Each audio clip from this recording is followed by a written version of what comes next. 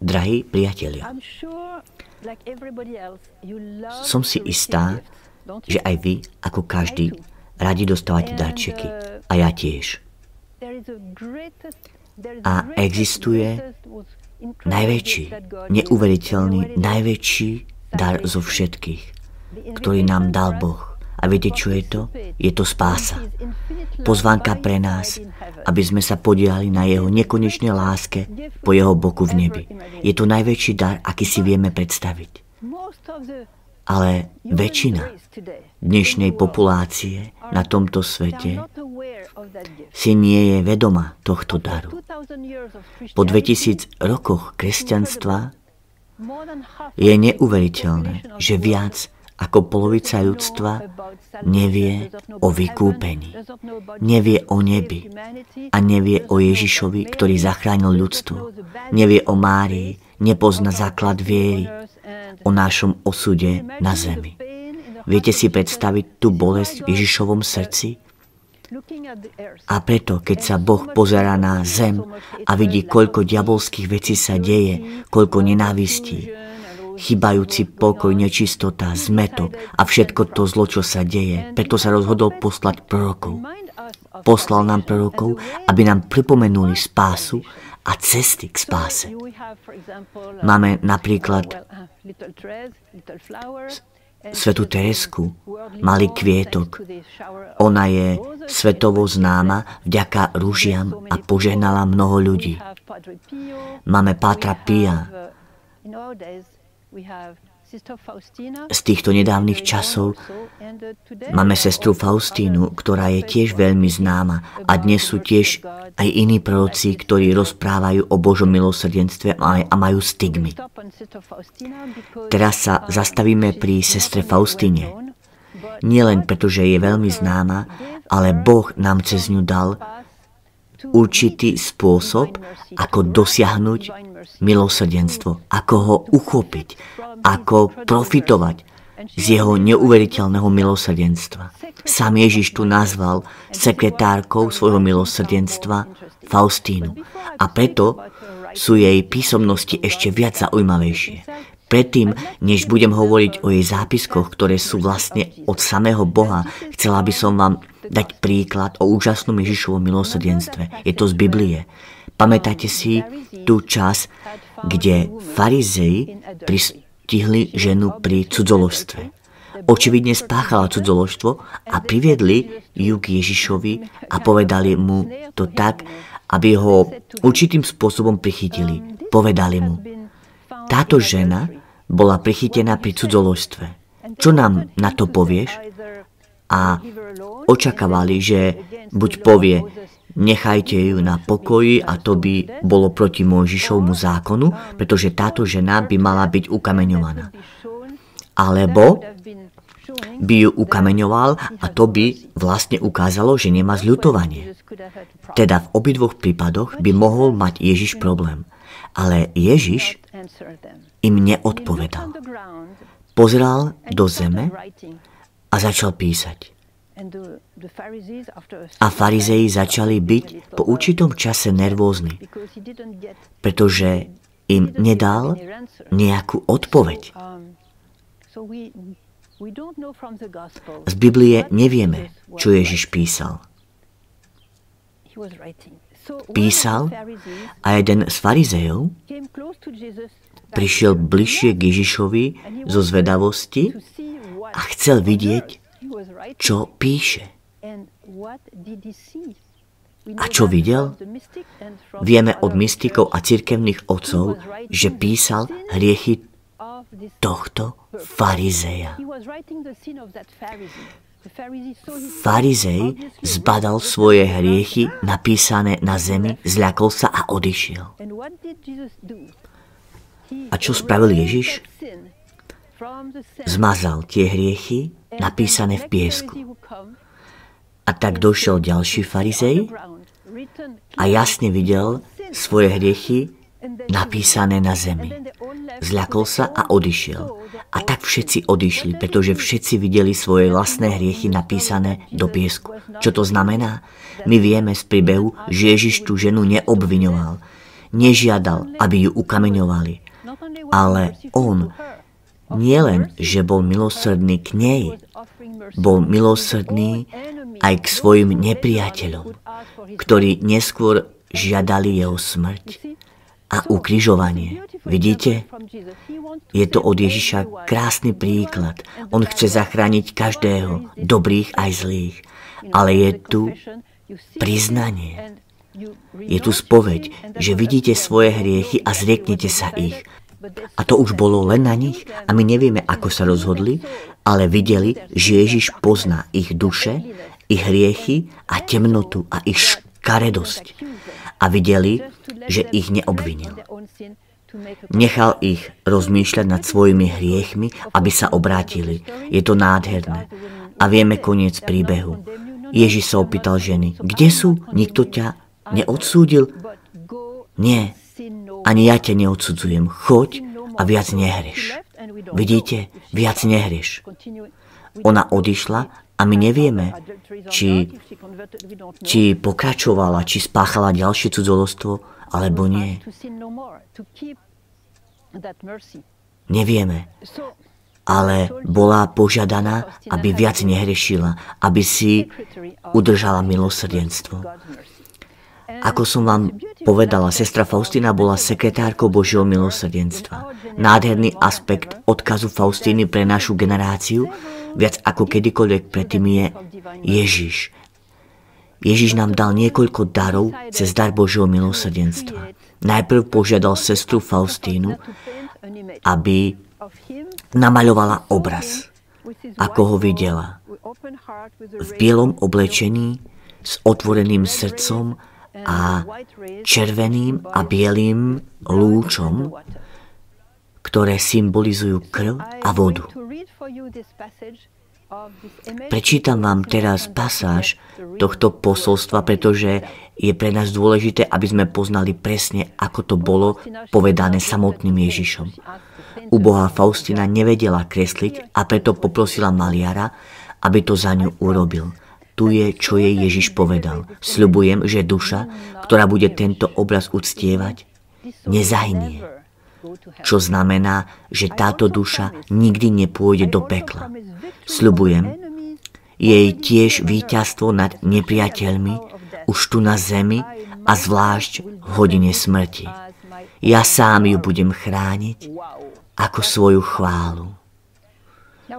A toto je veľmi silné. Okrem obrazu, ktorý je teraz rozšírený po celom svete a je uctievaný nám dal Ježiš nádherný dar. Zastaviť sa o tretej pobede a rozímať nad Ježišovým utrpením. A pripomenúť si v tú hodinu smrť nášho pána. A toto povedal sestre Faustíne. Pripomínam ti, dcéra moja, že vždy, keď budeš počuť, ako hodiny odbijajú tretiu, ponaraj sa celá do môjho milosrdenstva. Zvelebuj a oslavuj ho. Vzývaj jeho všemohúcnosť pre celý svet a zvlášť pre úboj hriešnikov. Lebo v tej chvíli bolo otvorené do Korán pre každú dušu.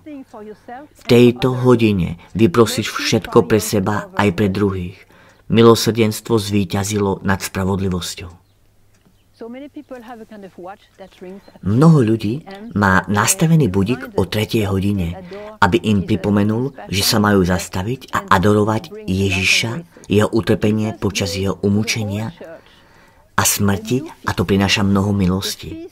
Ježiš dal celej cirkvi nový sviatok, sviatok Božieho milosrdenstva, ktorý pripáda na prvú nedeľu po Veľkej noci ktorá bola v minulosti nazývaná Bielá nedeľa. A na tento deň máme úžasné, úžasné prisľúbenia. Pozrime sa, čo Ježiš povedal o tomto, o tomto sviatku. Céra moja, Hovor celému svetu o mojom nepochopiteľnom milosrdenstve. Túžim, aby Sviatok milosrdenstva bol úkrytom a útočišťom pre všetky duše, zvlášť pre úboj hriešnikov. V ten deň je otvorené vnútro môjho milosrdenstva. Vylievam celé more milosti na duše, ktoré sa priblížia k prameňu môjho milosrdenstva. Duša, ktorá pristúpi k svetej spovedi a svetému príjmaniu, dosiahne úplne odpustenie vín a trestov.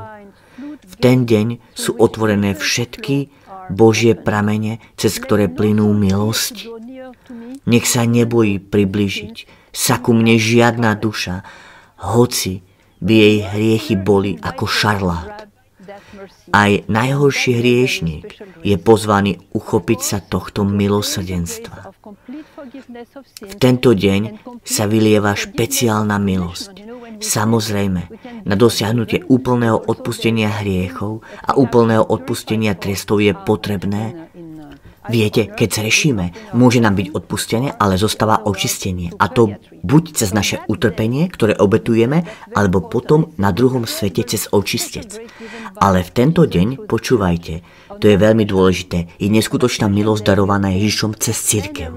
V ten špeciálny deň dosiahneme úplné odpustky, čo znamená, že ak pôjdeme na svetú spoveď a dostaneme sveté príjmanie, keď sa pomodlíme na úmysel svetého Otca, ak cítime úprimnú ľútosť a kajúcnosť nad našimi hriechami, potom je nám nielen odpustené počas tejto spovede, ale tiež všetky tresty, a potreba očisťovania, ktoré súvisia s našimi hriechmi, sú úplne odstránené a vymázené. Vymazané. A to je veľké. To je skutočne obrovské. A tak dúfam, že každý z nás to využije. Ježiš taktiež daroval ľudstvu cez Faustinu nádhernú modlitbu. Úžasnú modlitbu korunky Božieho milosrdenstva. Korunku Božieho milosrdenstva každý pozná, alebo, si to môže nájsť na Google. A každý deň sa môže pomodliť korunku Božieho milosrdenstva. Je to veľmi, veľmi ľahké, trvá to možno 10 minút. Ježiš vedel, že ľudia našej generácie nemajú radi dlhé modlitby a tiež pre tých, ktorí sú slabší vo viere, je 10 minút akurát a dostanete mnoho milosti. Napríklad Ježiš povedal, že ak sa modlíte túto modlitbu pri posteli zomierajúceho, ten nezahynie a mnoho, mnoho obrátení bolo dosiahnutých modlením sa korunky Božieho milosrdenstva. A to nie je všetko. Povedala som vám, že dosiahnutie úplných odpuskov cez Božie milosrdenstvo v tú nedeľu, ale ak to nemôžete urobiť presne v túto nedeľu, môžete to, môže to byť pár dní pred alebo po úprimnou spovedou hriechov. A teraz, čo to je úprimné vyznanie hriechov? To je, keď máme ľútosť. Čo je ľútosť? Predpokladajme, že som udrela svojho brata. Och, cítim sa zle, necítim sa dobre vo svojom vnútri. Ako to môžem napraviť? Ak milujem svojho brata, tak nielen, že poprosím o odpustenie, ale tiež cítim bolesť vo svojom srdci. Boli ma to, pretože milujem svojho brata a spravila som niečo zlé, čo mu ublížilo. A teda, ako sa my môžeme kajať za to, čo sme spravili Ježišovmu telu na kríži? Pretože v skutočnosti je to náš vlastný hriech, ktorý spôsobil rany Ježišovi na kríži. A Pana Mária nám dáva kľúč.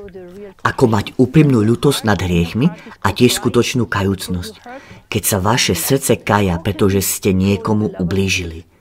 Ako môžeme rásť v láske k Ježišovi? Pozeraním sa na kríž. Keď sa pozerám na kríž, vidím krvácajúceho Ježiša, vidím Ježiša s ranami a trňou korunou. A naša pani povedala, stojte pod krížom a pozerajte, adorujte môjho syna, pozerajte sa na môjho syna s láskou a celým srdcom. Čím viac sa pozerám na Ježiša na kríži, tým viac prichádza do môjho srdca súcit pre Ježiša a tento súcit ma núti premýšľať o môj pane, čo som to urobil a začnem nenávidieť môj hriech.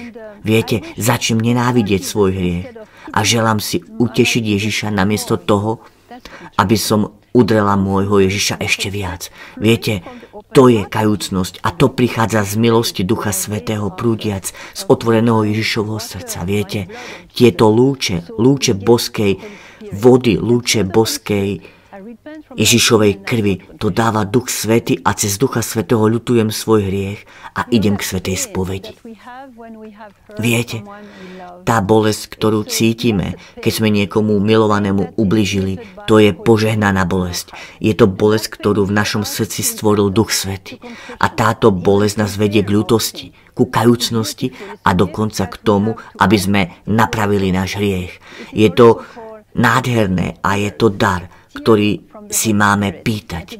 Tiež ho nazývame dar slz, slzy od Ducha Svetého. Je to úžasná charizma, o ktorú môžeme pána prosiť pri týchto okolnostiach. Pretože táto vec ohľadne Božieho milosrdenstva, tam nič nie je automatické, že má pán Boh napríklad paličku a povie, povie ti, je ti odpustené, buď dobrý. Viete, nie. To takto nefunguje automaticky. Všetko musí ísť zo srdca. A my musíme vidieť srdce Ježišovo a adorovať srdce Ježišovo a čerpať krásu, lásku a svetlo z Ježišovho srdca. Ježiš túži komunikovať s nami svojim srdcom. Tak dovolte mi prečítať, čo Ježiš povedal o Svetej spovedi a budete prekvapení. Keď prichádzaš k spovedi, buď si vedomá, že to ja sám na teba čakám v spovedelnici. Zahaľujem svoju prítomnosť osobou kniaza, ale ja sám pôsobím v duši. Tu sa stretáva úbohosť duše s Bohom milosrdenstva. Povedz dušiam, že z tohto zdroja milosrdenstva duše čerpajú milosti len nádobou v dôvery. Bude ich dôvera veľká, moja štedrosť je bez hraníc. Pramene mojej milosti zaplavujú pokorné duše. Pyšní sú stále v chudobe a biede, pretože moja milosť sa od nich odkláňa k dušiam pokorným. Teda keď ideme k spo- svetej spovedi, je to ako by sme ako Mária samých seba postavili pod Ježišové srdce a rieka krvi, ktorá očistuje moju dušu a tiež voda, ktorá očistuje moju dušu a dáva silu, aby som ja sama bola milosrdná. Teraz je tu ďalší prvok. Musíme povedať, že najlepší a je to sveté príjmanie. Keď idete na svetú omšu, idete na sveté príjmanie. Príjmajte, príjmajte samotného Boha, samotného Ježiša, skutočne prítomného svojim telom, krvou, dušu, dušom a bostvom. Vstupuje do vás vo svojej plnosti. Ježiš taktiež povedal, že na dosiahnutie milosti úplných odpuskov musíme vrúcne prijať sveté príjmanie a dovolte mi prečítať, čo povedal. Túžim sa zjednocovať so všetkými ľudskými dušami. Mojou rozkošou je spájať sa s dušami. Vec, dcera moja, že keď prichádzam vo svetom príjmaní do ľudského srdca, mám ruky plné milosti a túžim ich dať duši. Ale duše si ma ani nevšímajú. Ponechávajú ma samého a zaoberajú sa niečím iným. O, ako mi je smutno, že duše nespoznali lásku. Zaobchádzajú so mnou ako s niečím mŕtvým. Chcem zdôrazniť dôležitosť dobrého, úprimného, svetého príjmania. Ježiš tiež povedal inej mystičke, Marte Robinovej, povedal, že stupeň našej väčšnej slávy v nebi, stupeň našej duše stupeň nášho šťastia v nebi bude umerný kvalite dôstojnosti našich svetých príjmaní. Čo znamená, že za, za každým, keď príjmem Ježiša, úprimne ho privítam v mojom srdci s radosťou, s ďačnosťou, s adorovaním. A čo sa mi stane? Existuje stupeň chvály, lásky a šťastia, ktorý je pridaný k môjmu životu v nebi. A to je prečo je to dôležité. Nie iba prijať Ježiša vo svetom príjmaní počas omše, ale tiež vykonať duchovné sveté príjmanie a v tomto čase pandémie je to veľmi dôležité, pretože naše kostoly sú zatvorené. A teda my pozývame Ježiša do nášho srdca a nechávame si čas pre Neho. Pamätáte si tú príhodu, ktorá sa stala Jelene Vasil? To bolo mladé dievča z tejto dediny, mala vnútorné zjavenia vo svojom srdci a tiež videla Ježiša a Máriu. Nie ako zjavenie, ktoré mali šiesti vizionári, ale iným spôsobom. Videla ich svojim srdcom. A teda jeden deň šla z kostola svätého Jakuba tu v Medžugori a zrazu bol pred ňou Ježiš. Videla pred sebou Ježiša. Ježiš bol vo svojom umúčení. Mal trňovú korunu. Jeho tvár krvácala. Krv, blato, pľúvanice, špina. Jeho oči boli zakrvavené a jeho pohľad bol veľmi smutný. Veľmi smutný. Bol vo strašných bolestiach. A viete, čo jej povedal? Povedal jej, dcéra moja, vec, že keď ma ľudia príjmajú vo svetom príjmaní, príjmu ma a idú na svoje miesto a prežehnajú sa a zanechávajú ma. A to je koniec. A to sú pre Ježiša muky. Prečo? Pretože keď Ježiš prichádza vo svetom príjmaní, neprichádza len, aby sa dal v plnosti, ale tiež prichádza a prináša mnoho darov, pokladov, požehnanie a milosti rôzneho druhu a povedal, Mojou najväčšou radosťou je prísť do ľudského srdca, aby som sa zjednotil s týmto srdcom a priniesol moje milosti. A teda čím viac času venujeme v jednoduchom, srdcom naplnenom rozhovore, tým viac dostávame. A keď sa dostaneme na druhý svet, do druhej časti života, väčšného života, uvidíme všetky tieto neskutočné poklady, ktoré sme zhromaždili každým svetým príjmaním. Je dôležité, aby sme sa naučili, ako rešpektovať Ježiša, príjmať s láskou a nie ako mechanický akt. Idem na svetu omšu a idem na sveté príjmanie, ale vlastne sa nezaujímam o Ježiša.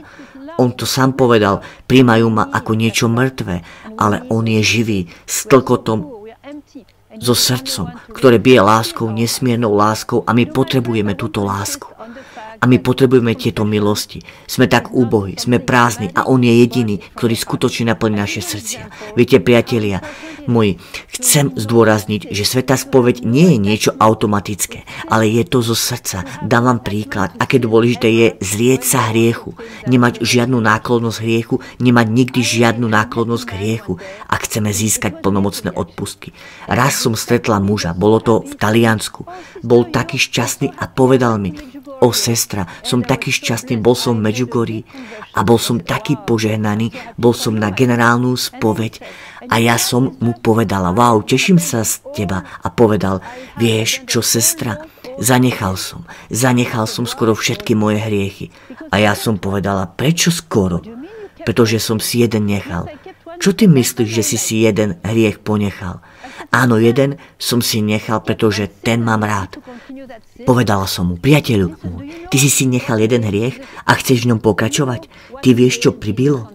Vieš, čo pribilo Ježiša na kríž? Môj hriech, tvoj hriech a hriech každého človeka. A ty si chceš ponechať klinec a pokračovať v pribíjaní Ježiša na kríž týmto hriechom? Uvedomuješ si, čo robíš tým, že si si dobrovoľne ponechal hriech? A on povedal, ach moja sestra, ja som sa nad tým takto nikdy nezamýšľal, že môj hriech pribie Ježiša na kríž. A ja som povedala, vieš, ale takto to je. Mnoho ľudí nechce zanechať hriech. Prečo? Pretože sa im ten hriech páči. Viete, plácou za hriech je smrť a darom Boha je väčší život. Hriech vždy zo sebou prináša smutok a zlo. Je to, ako by ste otvorili dvere nejakému svojmu nepriateľovi, aby vám ublížil, ale tiež vašej rodine, práci a všetkému a nakoniec celému svetu. Toto je dôležité, keď pristupujete k svetej spovedi, uistite sa, že si prečítate napríklad 10 Božích prikázaní a poukážete na to, kde máte problém a úplne sa zrieknete hriechu. Pretože ak sa nezrieknete hriechu, Boh vám nemôže odpustiť, pretože máte úmysel v tom pokračovať. Takže viete, takto to nefunguje. Niekedy to trvá nejaký čas zrieknúť sa hriechu. Ale pracujte na tom, viete, Ježiš je trpezlivý, len na tom pracujte. Zamerajte sa na hriech, ktorý je vo vašom živote závažnejší, najzávažnejší. To neznamená, že ho už nikdy nespáchate, ale robte všetko, čo môžete, aby ste ho znovu nespáchali z lásky k Ježišovi. Nie zo strachu, ale z lásky k Ježišovi. Viete, pamätám si čas písma, ktorú milujem, pasaž, ktorej vidíme Ježiša, ako nesie kríž na ceste na Golgotu, krížovú cestu, ako my ju nazývame. A niekoľko ľudí sa k nemu priblíži. Medzi nimi je to Matka Božia. Je tam Veronika a je tam tiež Šimon z Cyreny.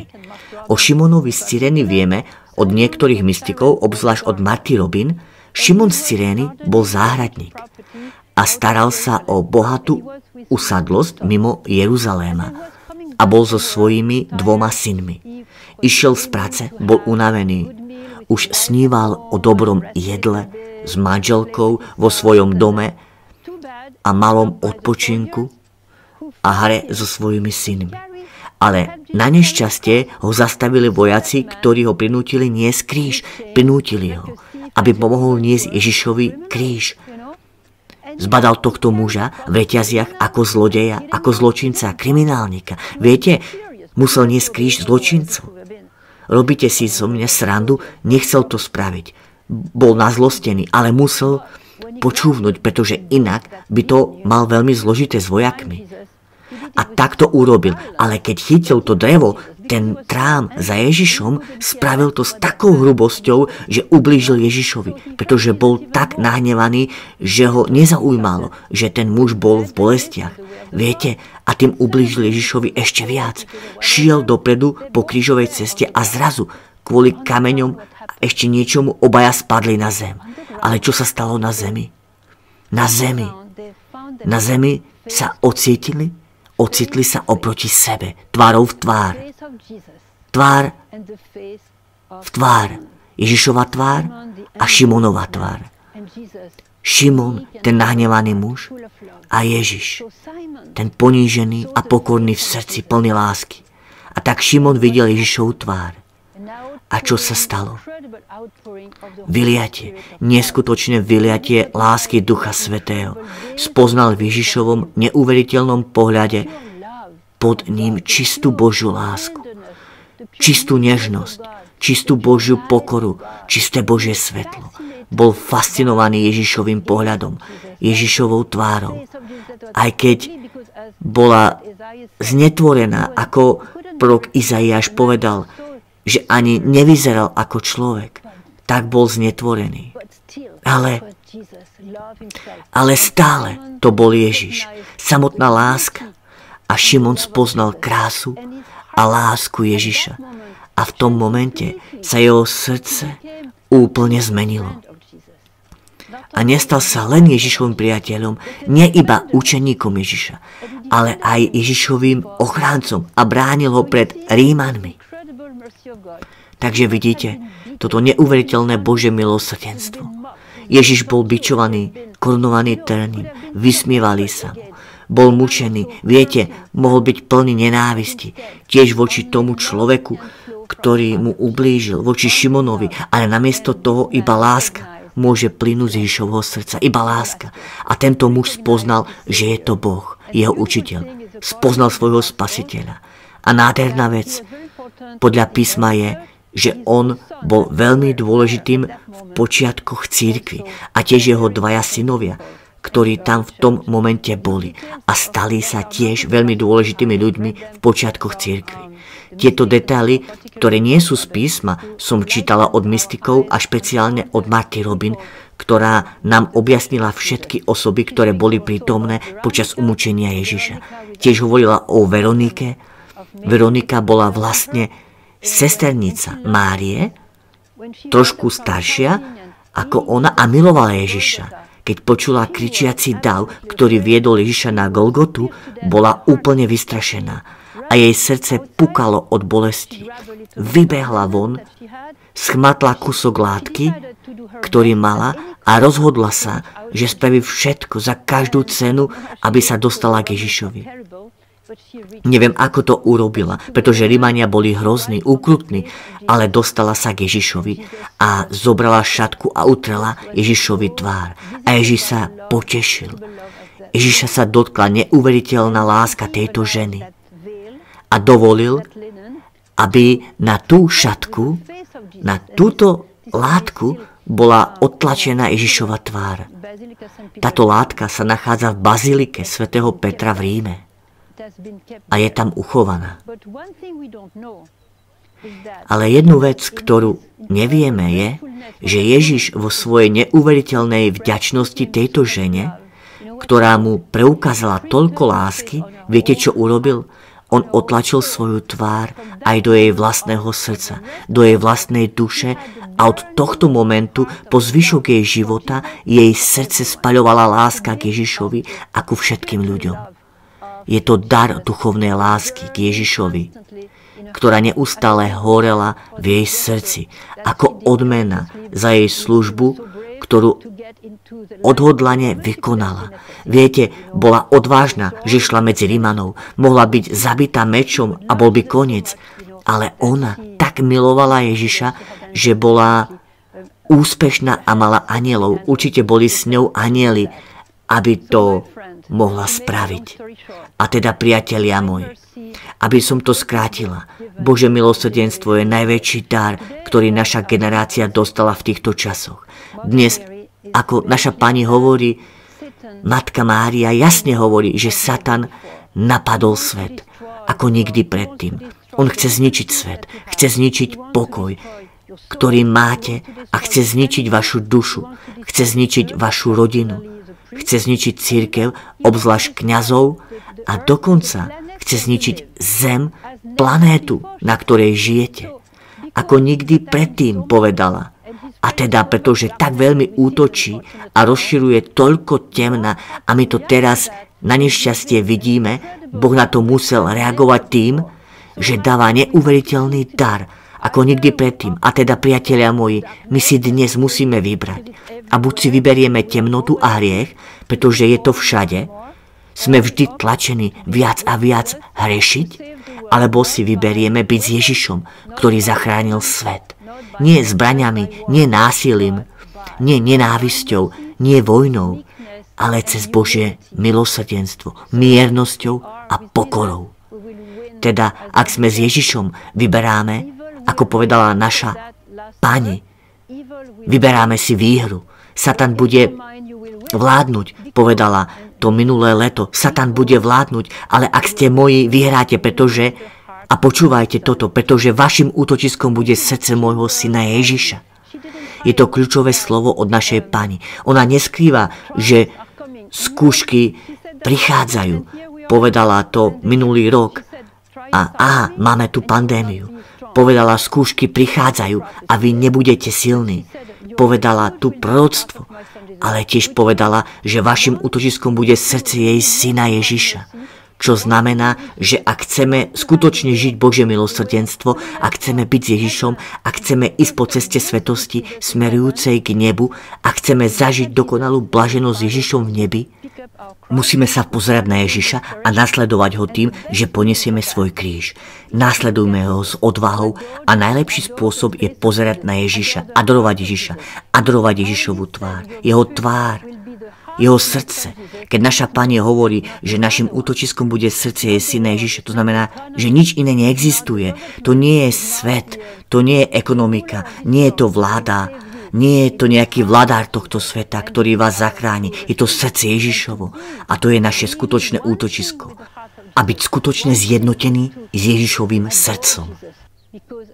A jedna vec je adorovať Ježiša, ako sme sa naučili z církvy, Stávame sa tým, čo kontemplujeme. Ak rozímame o láske, podrobne celým našim srdcom my sa premeníme na túto lásku. A teda je na nás, aby sme sa rozhodli, či sa chceme stať láskou ako Ježiš alebo niečím iným. Ale, drahí moji priatelia, ja viem, že ste sa už rozhodli. Všetci budeme s Ježišom. S Ježišom zvíťazíme boj a s Máriou, ktorá rozšľapne hlavu hadovi bola vybraná samotným Bohom, aby tak spravila. Poďme ruka v ruke s Máriou.